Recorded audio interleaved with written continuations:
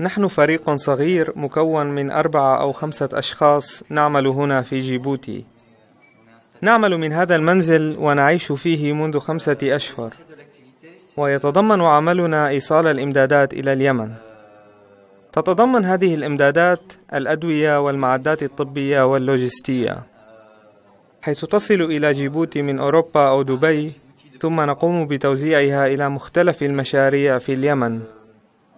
تعمل منظمة أطباء بلا حدود في صنعاء الواقعة شمال اليمن وتعمل كذلك في عدن وشمال عدن. نرسل إمدادات المنظمة إلى عدن بحرا ونسير قاربين أو ثلاثة قوارب أسبوعيا. في حين نرسل الإمدادات إلى صنعاء جوا. تسافر كذلك طواقم المنظمة بشكل منتظم إلى اليمن جوا. ولدينا ثلاث رحلات إلى صنعاء كل أسبوع وواحدة إلى عدن.